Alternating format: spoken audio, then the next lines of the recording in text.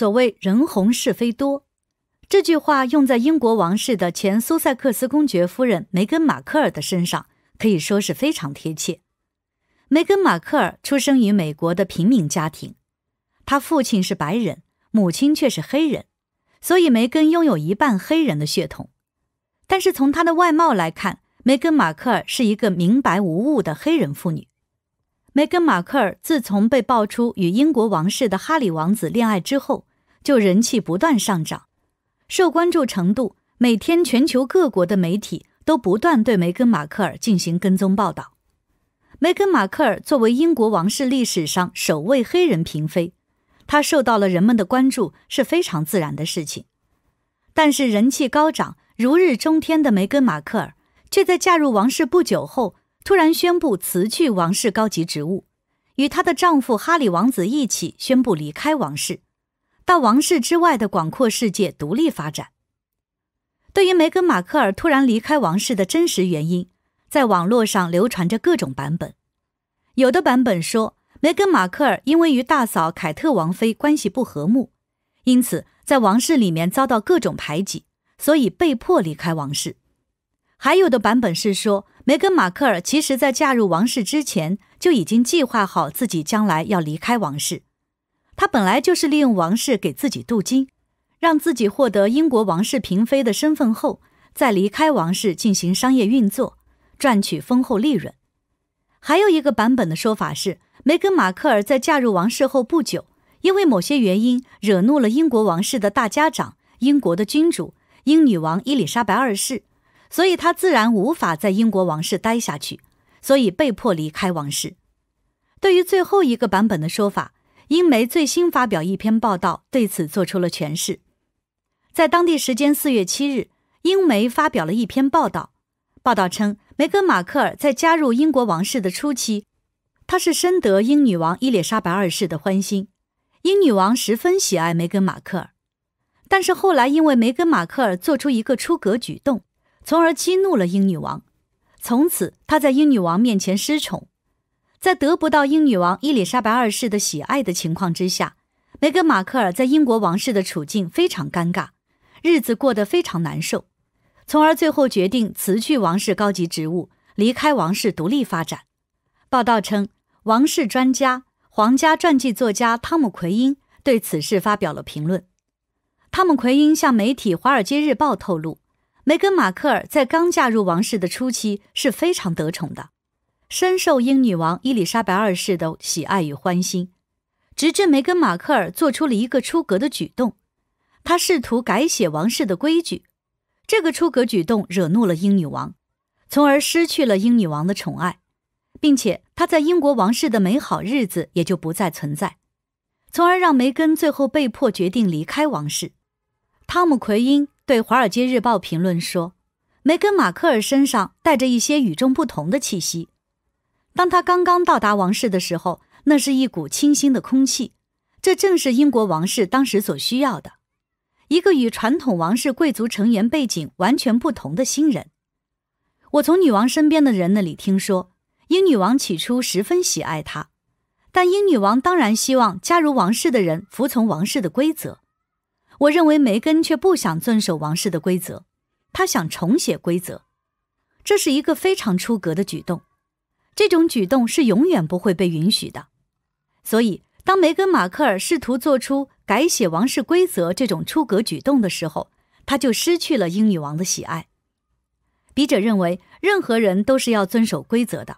所谓入乡随俗，既然已经嫁入了英国王室，成为王室的一份子，那么自然要遵守王室的规则。如果已经成为王室成员，却试图改变王室的规则，这种行为确实非常出格，难怪会因此惹怒了英女王。毕竟，没有哪个领导人会喜欢自己麾下有一个不守规则的部下，这是十分自然的事情。对此事，你有什么看法？欢迎发表评论。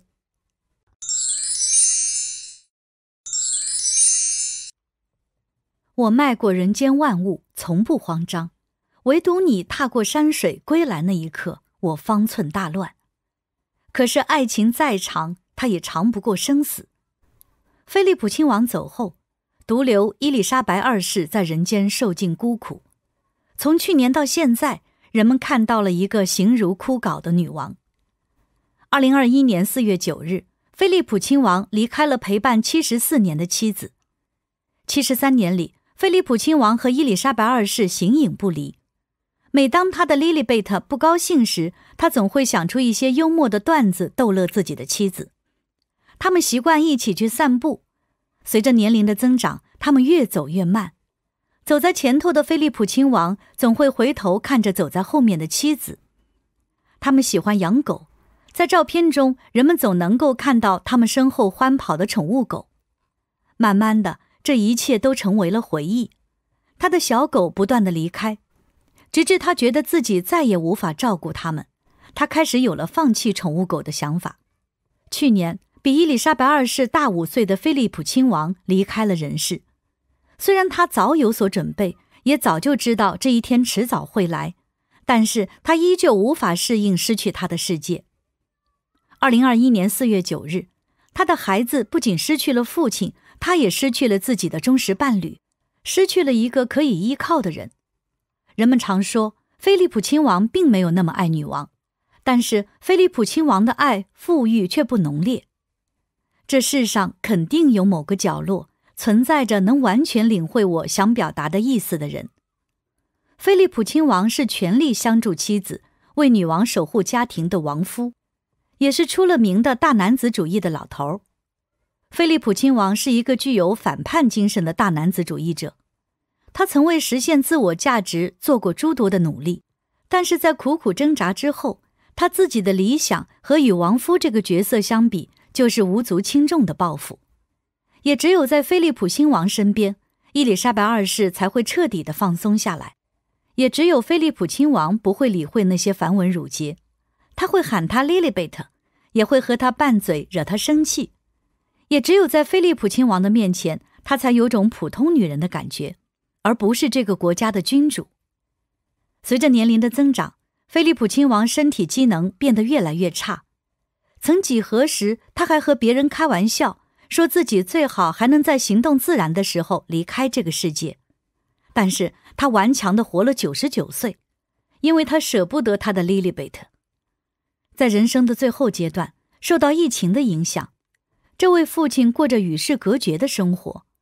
那里没有儿孙的烦扰，只有两人面对面的促膝长谈，内心如同出现了一个巨大的黑洞。菲利普亲王走后，女王曾这样形容现在的生活：住在医院的菲利普亲王一直吵着要回家，或者说他已经有了时日无多的感受。他想将自己人生中余下的时光留给 Lilibet。什么是爱？爱是你深埋六尺黄土之下，再也摸不到、触不到、碰不到你，是生死相隔却依旧生生不息的款款深情。我们都知道那一天迟早会来，那一刻到来时，女王始终还是无法接受。生死相隔摧毁了伊丽莎白二世，原本精神矍铄的女王。如今却成为一个形如枯槁的老人。菲利普亲王的死亡在一步步蚕食着女王，从消瘦的身躯，再到不断出现问题的身体，还有那个已经无法独立行走的躯体。还以为自己没那么想你，但是记忆涌上来时，我已经哭得不能自已。在菲利普亲王去世的追思会上，当教堂响起亲王指定曲目时。女王哭红了双眼，但是作为最敬业的君主，在菲利普亲王下葬的四天之后，他就开始履行自己的王室职责，因为他知道自己一生最大的任务便是成为国家的榜样，维护国家统一和民族的团结。